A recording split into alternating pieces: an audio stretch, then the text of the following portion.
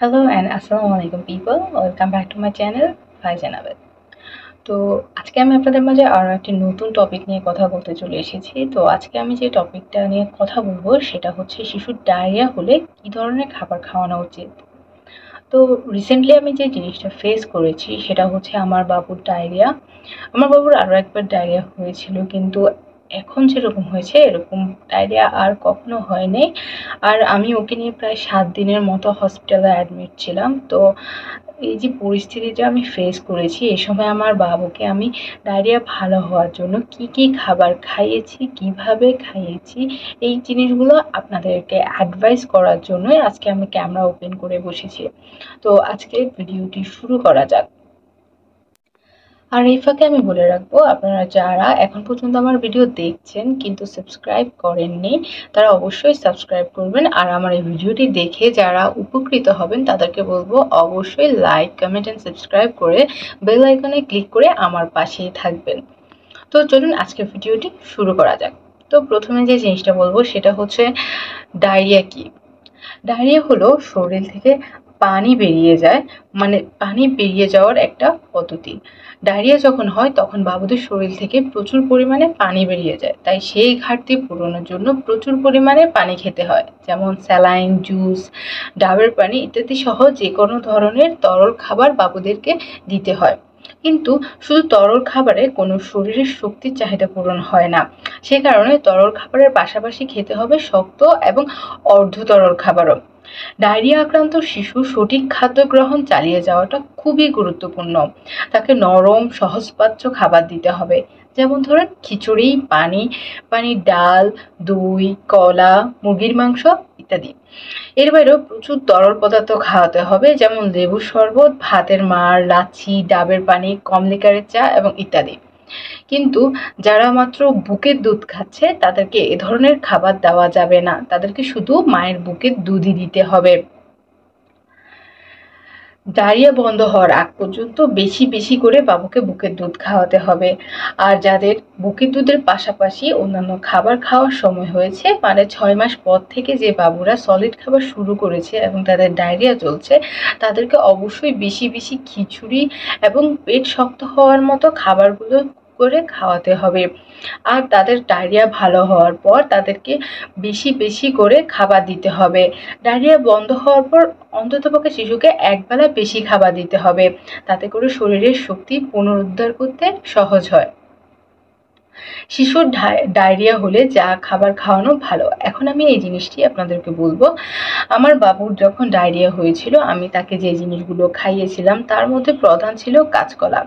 তো এক্ষেত্রে আরও একটি কথা বলা অনেক বেশি জরুরি, সেটা হচ্ছে যখন বাবু ডায়রিয়া হয়, আমি দেখেছি, আমার নিজের ক্ষেত্রেও এই জিনিসটা ঘটেছে। সবাই বলে যে ডায়রিয়া হলে মাকে খাবার এটা খেতে হবে, ওটা খেতে হবে, অনেক বেশি বিধি নিষেধ দেখায়। বিশেষ করে আমাদের গ্রাম বাংলায় মাদেরকে শুধুমাত্র কলা খাইয়েই রাখা হয় বা কলার যে মোচা সেটা খাইয়ে রাখা হয়। শাক খেতে দেওয়া হয় না, ডাল খেতে দেওয়া হয় না, ঝাল খেতে দেওয়া হয় না, অনেক কিছুতে বাধা নিষেধ দেখায়। তো এক্ষেত্রে আমি যে জিনিসটা বলব সেটা হচ্ছে যখন বাবুর ডায়রিয়া হয়, তখন মায়েদের খাবারে কোনো ধরনের বাধা নিষেধ নাই, মারা ইচ্ছে মতোই খেতে পারে।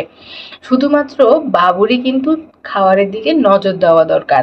বাবুকে বেশি বেশি করে ওই ধরনের খাবারই খাওয়ানো দরকার, যেগুলো খেলে তার পাতলা পায়খানা বন্ধ হবে। তো প্রথমত যে খাবারটা খাওয়ানো জরুরি, এক নাম্বার হচ্ছে প্রচুর শক্তি সমৃদ্ধ খাবার।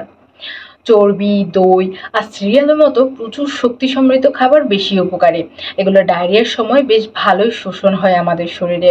তাই অল্প অল্প করে সুলভে পাওয়া যায় এমন উচ্চ শক্তি সমৃদ্ধ খাবার খাওয়ানো যেতে পারে। যেগুলো খাবার আপনার শিশু পছন্দ করে বা পরিচিত, সেগুলো বারবার খাওয়ানোর চেষ্টা করতে হবে। চাইলে ভাত বা কলাকে আপনারা সিদ্ধ করে আপনার বাবুকে খাওয়াতে পারেন, যাতে খাবারের শক্তি পরিমাণ বৃদ্ধি পায়। আমার বাবু যখন ডায়রিয়া হয়েছিল, আমি তাকে যে জিনিসটা খাইয়েছিলাম সেটা হচ্ছে প্রথমত আমি কিন্তু সবসময় ডাক্তারকে খুঁটিয়ে খুঁটিয়ে সব কিছুই জিজ্ঞেস করি এবং আমাকে যেই সাজেশনটা তারা দেয়, আমি সেটাই মেনটেন করার চেষ্টা করি। ডায়রিয়ার সময় আমার বাবুকে যে ডাক্তার দেখেছিলেন, যে বাবু আন্ডারে ছিল, তাকে আমি জিজ্ঞেস করেছিলাম।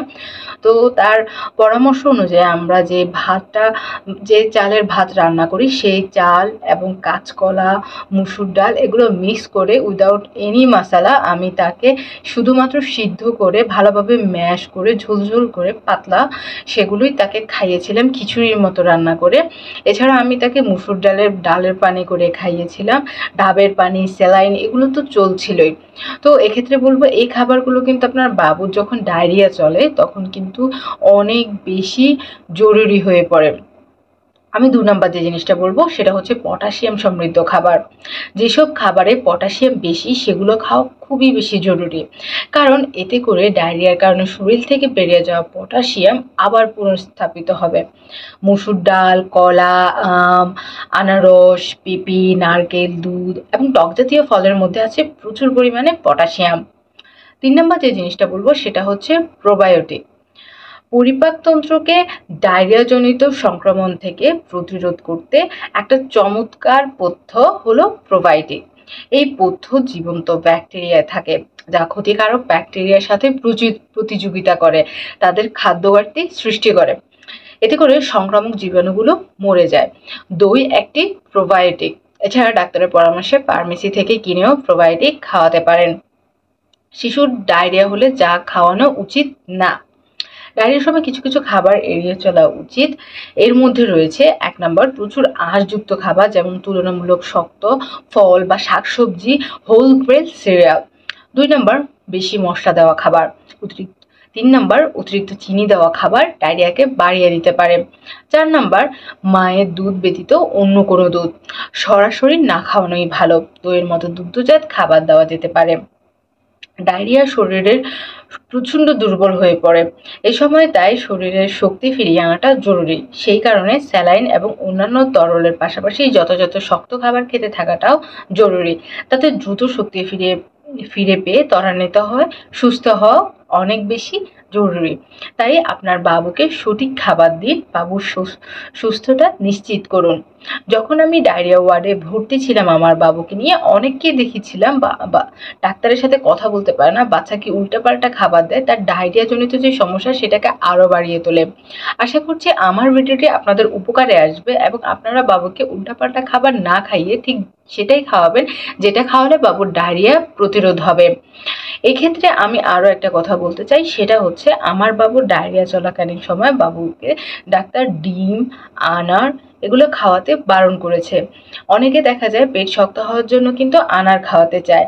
আমার ডাক্তার বলেছিল, যদি আমি তাকে আনার খাওয়াই, এতে কিন্তু তার বমির সম্ভাবনা থাকে, যে কারণে তার শরীর কিন্তু আরও বেশি দুর্বল হয়ে পড়বে। তাই তাকে ডিম আনার এবং সিরিয়াল টাইপ যে খাবারগুলো আছে এবং ফর্মুলা মিল্ক সেগুলো আমি এড়িয়ে চলেছি। বাবুকে ডাক্তার যে মিল্কটা সাজেস্ট করেছিল ডায়রিয়া চলাকালীন সময়, আমি তাকে সেটাই খাইয়েছি। তো আপনাদেরকে বলব, অবশ্যই সেই খাবারগুলো খাওয়াবেন যেগুলো খাওয়ানো উচিত আর সেগুলো এড়িয়ে চলবেন যেগুলো খাওয়ানো উচিত না। এতে কিন্তু বাবুর হেলথ আরও বেশি খারাপ হয়ে পড়বে, এতে আপনাদেরই অসুবিধা হবে। তো আজকের ভিডিওটি কেমন লেগেছে অবশ্যই জানাবেন এবং উপকৃত হলে অবশ্যই সাবস্ক্রাইব করে পাশে থাকবেন। নিজে ভালো থাকবেন, নিজে সুস্থ থাকবেন, নিজের বাবুরও খেয়াল রাখবেন, সুস্থতা নিশ্চিত করবেন, সঠিক সিদ্ধান্ত নেবেন। তো সবাই ভালো থাকবেন, সুস্থ থাকবেন। আল্লাহ হাফেজ।